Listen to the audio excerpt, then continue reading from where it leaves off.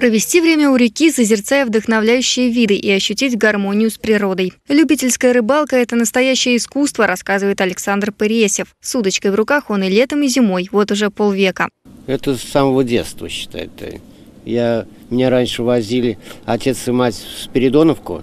И вот там с этого началось. То есть на летние каникулы, когда уезжал, меня, э, мы все время с друзьями ходили на рыбалку. Потихонечку идет рыбалка, ничего. На рыбалку Александр приходит дважды в неделю. В среднем за 6 часов удается поймать 3 килограмма рыбы. Зависит все от течения. В спокойной воде улов будет куда скуднее. Но четверг у рыбака выдался рыбный. Завтра у супруги будет день рождения. Вот я и наловил рыбки. Завтра пожарим на стол.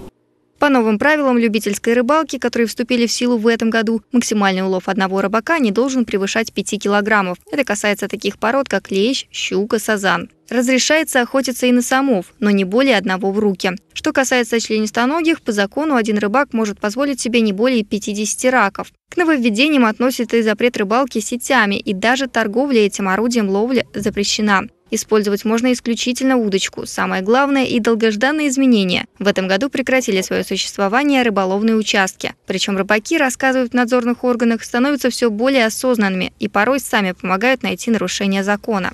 Э, теперь уже э, рыболовы-любители, они могут э, рыбачить бесплатно на государственных, муниципальных прудах. Истинные любители рыбалки, которые на удочку, на незапрещенные орудия лова они нам тоже сообщают. У нас есть своя горячая линия. Запрещенными для рыбалки остаются зоны, которые принадлежат Министерству обороны, а также национальные парки, например, Самарская Лука. Под запретом для ловли остаются и рыбы, которые внесены в Красную книгу. На Средней Волге это осетровые, запасы которых ежегодно пополняются. За нарушение правил предусмотрены как административная, так и уголовная ответственность. При этом, если нарушить сразу несколько условий рыбалки, то и раскошелиться придется не на один штраф. Мария Левна, Григорий Плешаков, Сергей Баскин. События.